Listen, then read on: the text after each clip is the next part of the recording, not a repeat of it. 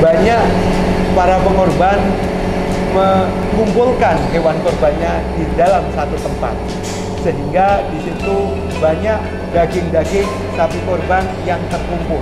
Namun di satu sisi daging-daging tersebut harus didistribusikan ke tempat-tempat yang membutuhkan. Nah, sahabat, bagaimana cara mensiasati tentang ini? Sahabat, kita akan mengikuti wawancara saya dengan Pak Cahyo dari Opisu. Ayo kita ikuti videonya.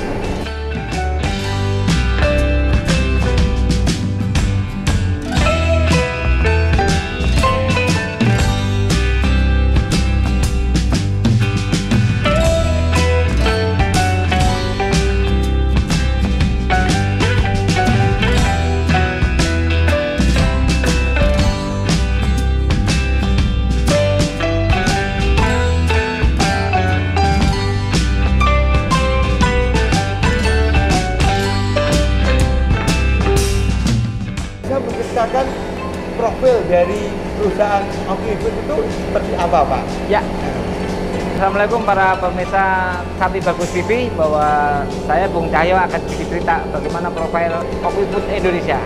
PT Oki Food Indonesia ini dibangun atas bimbingan daripada BRIN Badan Riset dan Inovasi Nasional di mana kami menjadi pihak ketiga yang akan menjembatani para UMKM atau vendor lain untuk mengemas produknya sehingga tidak hanya beredar di sekup yang sempit. Namun pengemasan Oki Food ini sudah dilengkapi dengan label BPOM dan izin edar, Pak. Sehingga produk kita sangat mungkin untuk didistribusikan secara nasional maupun ekspor.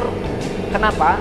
Karena produk-produk kita ini termasuk yang dipunyai sapi bagus ini adalah produk yang sudah diteliti oleh para periset, para dokter yang ahlinya di dalam BRIN itu sendiri. Sehingga secara legal produknya, terus istilahnya kelayakan konsumsinya sudah diperhitungkan sangat matang karena ini berkaitan dengan konsumsi manusia. Seperti itu. Jadi sahabat, eh, di belakang saya ini adalah mesin-mesin yang dimiliki oleh Okifood. Nah, di mana mesin-mesin ini serta SOP maupun orang-orangnya selalu dalam eh, pengawasan dari para ahli dari Badan Riset Inovasi Nasional. Nah, tentunya akan menjaga kualitas baik di higienisnya atau sisi eh, kesehatannya. Nah, bagaimana hubungannya ini Pak? Selama ini kan Sapi Bagus bekerja sama dengan Okifood telah eh, mengemas dalam bentuk daging sapi, kambing maupun domba serta ada juga ke dalam akekah bagi keluarga-keluarga yang sedang punya anak. Nah, bisa diceritakan Pak bagaimana uh, hubungan Okifood ini dengan UMKM UMKM Pak ini Ya, terima kasih Pak. Jadi Okifood digagas bermula memang walaupun sekarang sudah bekerja sama dengan Sapi Bagus, Okifood digagas di awal adalah untuk menjadi jembatan atau pihak ketiga yang membantu para UMKM untuk scale up atau naik kelas dengan proses kemasan. Sebenarnya program kita tidak hanya pengalengan, kami punya kemasan pouch Pak. Sehingga mungkin yang produknya lebih besar tidak bisa dirajang seperti ayam, mungkin juga bisa dikemas lebih besar. Namun saat ini memang customer kita banyak dari pemain daging, di antaranya ya sapi bagus ini.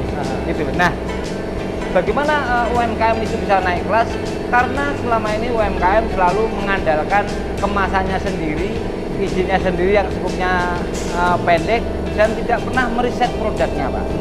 Sementara di BRIN ini kami ditunjuk menjadi pihak ketiga PT Okifood ini termasuk didukung bagaimana mengemas ini menjadi lebih bagus dan benar-benar steril secara umum bisa dipertanggungjawabkan. Oh, nah, eh, jadi sahabat terutama bagi UMKM UMKM yang ingin naik kelas yaitu eh, ingin mengemas dalam bentuk produk kaleng nah nanti bisa menghubungi Okifood eh, di WA nomor ini nah eh, kenapa ini apabila eh, sahabat-sahabat UMKM harus membuat sendiri apa mesin-mesin seperti ini tentunya memerlukan investasi yang besar Pak Ya. Setelah itu juga kontrol atau kualitasnya. Nah, di Okifood ini sudah ada izin edar. Kemudian juga eh, sudah ada izin-izin kehalalannya uh, di dalam proses produksinya. Nah, selama ini misalnya ada sahabat-sahabat UMKM Pak ya ingin ekspor produk-produk seperti ini ya, ya. misalnya apa dalam bentuk rendang, terutama kan misalnya pas musim haji Pak ya, tentunya kan akan membutuhkan uh, produk seperti ini yang sudah praktis ya. Bagaimana caranya ini? Ya, para pemirsa, sebelum kami menjawab dari uh, Bapak dari Sapu Bagus, kami akan ceritakan bahwa sebenarnya kenapa produk-produk UMKM yang di seluruh Indonesia cukup banyak sekali bahkan pindah kota aja kalau kita bilang soto sudah pindah jenis soto karena UMKM kita selalu putus asa dalam mengurus izin BPOM Pak. Kenapa itu nggak mudah? Karena membangun sebuah kemasan itu diperlukan layout dan fabrikasi yang standarisasi ISO-nya harus mungkin aturan main BPOM. Jadi tidak bisa setiap orang punya produk yang jaminannya enak terus produksi di rumah terus di BPOM kan itu nggak mudah pak karena akan dikontrol di dalam pabriknya itu sendiri. Nah untuk itu UMKM Indonesia termasuk Shopee Bagus yang sudah bermitra ini mereka menggandeng kami untuk sebagai pengemas atau penjahit lah bahasanya. Kenapa? Karena pabrik kami sudah teruji dan sudah sesuai layout maupun flow prosesnya yang diarahkan oleh BPOM. Jadi adanya muncul izin BPOM dan izin edar itu tidak hanya sebuah produknya yang enak, tapi kelayakan tempat produksi, Pak. Kedua adalah kelayakan produk yang memang diriset sama tenaga-tenaga ahlinya bukan karena produk ibu kita enak terus kita kemaskan karena ini akan berisiko untuk itu para pemirsa dan uh, para subscriber sapi bagus anda harus mengemas produk Anda kalau Anda bingung Anda hubungi sapi bagus atau Food agar produk yang Anda jamin enak itu bisa menjadi kemasan kaleng ini sehingga punya pasar potensial di nasional maupun ekspor. Nah, untuk ekspor Pak dan pasar nasional, Kopi Food ini akan membantu dalam proses pameran di beberapa mall yang kita gagas. Pertama, kedua, dari BNI Expora, Kopi Food diberikan space di mana space tersebut adalah hanya produk-produk yang punya potensi ekspor yang nanti akan didatangi oleh para buyer luar negeri. Gitu. Jadi sahabat eh, sahabat-sahabat UMKM ini sangat menarik sekali. Jadi Omnibus bukan hanya uh, membantu untuk proses pengemasannya, tetapi juga membantu pemasarannya. Bukan hanya untuk pasaran lokal, tetapi untuk ekspor. Nah, sangat menarik sekali ya sahabat. Nah, apabila sahabat ingin bekerja sama, silahkan menghubungi WA di bawah ini. Nanti akan ditindaklanjuti dan akan kita bekerja sama untuk merealisasi apa yang sahabat-sahabat UMKM jalankan. Nah, ini yang terakhir nih Pak. Nah, bahwa Okibut ini kan di bawah pengawasan begitu Pak ya, ya. dari Badan Riset Inovasi Nasional yang dahulunya adalah LIPI, Lembaga Ilmu Pengetahuan Indonesia. Ini eh, bagaimana hubungannya dengan BRIN Pak? Ya, jadi BRIN dalam hal ini kan lembaga negara yang tugasnya adalah hanya bertugas untuk riset, tidak boleh memproduksi. Sehingga pemerintah juga e, menyiapkan peralatannya namun operatornya tidak boleh dioperatin para periset sendiri.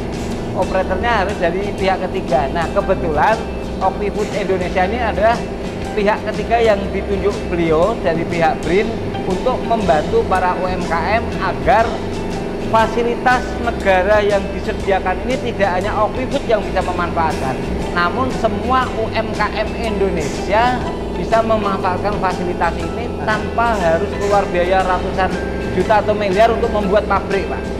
Cukup punya produk menarik, enak, bawa ke Okwibut yang sudah ditunjuk oleh BRIN, kami yang akan mengerjakannya dan BRIN dalam hal ini melindungi dan mengawasi. Nah bayangkan kalau nanti produknya diproduksi di rumah uh, bapak siapa gitu, oh, yang dapurnya tidak standar, tahu-tahu diedarkan ke Kalimantan nggak cocok umpama, tentu akan menjadi masalah umum pak. Nah insya Allah dengan adanya pengawasan langsung dari Badan Riset dan Inovasi Nasional para pemirsa, insya Allah produk-produk Anda yang selama ini Anda merasa paling hebat, buktikan itu menjadi produk kemasan kaleng dengan menggandeng sapi bagus maupun Oknibus. Baik, eh, sahabat, demikian penjelasan dari Pak Cahyo mengenai Okifood yang bekerja sama dengan Sapi Bagus dan juga di bawah eh, pengawasan dari Badan Riset Inovasi Nasional. Tetap semangat, Salam Sapi Bagus.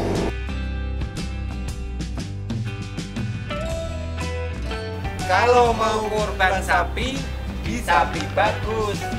Kalau mau mengalengkan produk, di Omi Food.